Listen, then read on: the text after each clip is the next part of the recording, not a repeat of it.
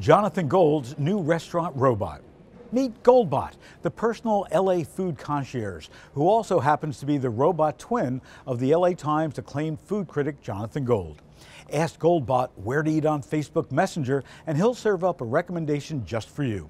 Launched in December, Goldbot was limited to recommendation of Gold's 101 best restaurant list. It's now expanded to over 300 restaurants reviewed over the past two years and is being relaunched.